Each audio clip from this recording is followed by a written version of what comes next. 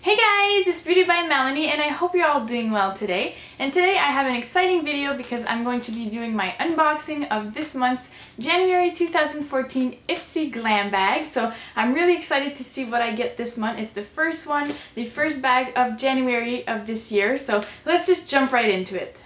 So this month the bag is actually really cute. It's this blue bag and it has some print of the um, some makeup items. I guess a shampoo. I see a lipstick.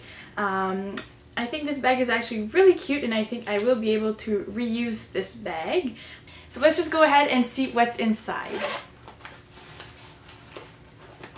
So of course, like every month, Ipsy gives you a card. In their bag, it explains a bit more information on the products you receive. And this month, it just says 19 reasons 2014 will be amazing. And here are my reasons. So you could write your reason why 2014 will be amazing. So that's really cute. But the first thing I see are these makeup cleansing tissue wipes and they're cucumber extract and they are by the brand Absolute and there's 10 tissues in here.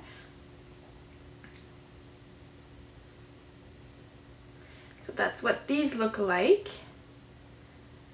And I don't really use um, facial wipes. I usually go for my cleanser and then go and wipe over my face with my Bioderma. But I'll go ahead and try these anyways.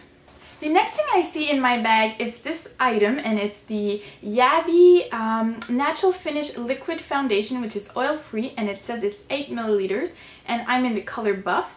So this is what this looks like. And I've had a, an item, I think it was an eyeshadow before by the brand Yaby, which I quite liked. So I don't know if this is going to be a good color match for me. It looks a little orange, but maybe for the summertime, maybe not right now. But I'll give this a try just to see how it applies and the coverage of it. So I'm excited to try this. I'll go ahead and open it just to see. So this is the Yaby foundation. That's what it looks like. So it might be a little bit orange for my skin right now, but like I said, maybe in the summertime it could work. So I'm going to give this a try. It's a nice smooth foundation and it has a nice sheen to it, so I'm going to give this a try. The next item in my bag is this body balm and this is Balm Me Up Organic Sweet Cocoa and Tangy Body Balm.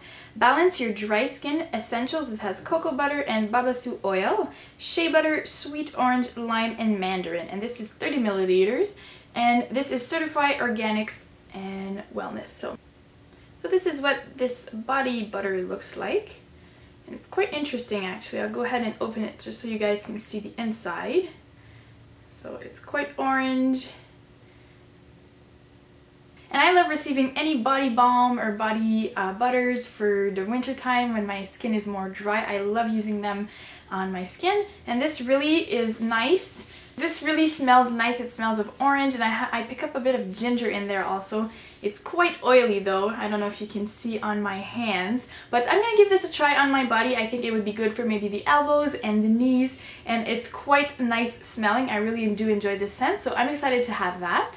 The next item in my bag is a lip balm and it says this is the Malin and Goetz Mojito Lip Balm Daily Protection Soothing Treatment fatty acid absorption technology and it's in a 10 grams uh, tube. So this is what this lip balm looks like. And some of you might know that I'm very loyal to my Jack Black lip balm and recently actually I've been loving the Creme de Rose by Dior lip balm. So I'm to give this a try anyways to see how I like it and how it compares to both of those products. And the last item in my bag is by Benefit and it's the POREfessional uh, Primer, I think. Yeah, this is to minimize the appearance of your pores and you apply this underneath your makeup. And I've received quite a few samples in the past of this, but I'm excited to have another one. It's always good to have these primers for your face.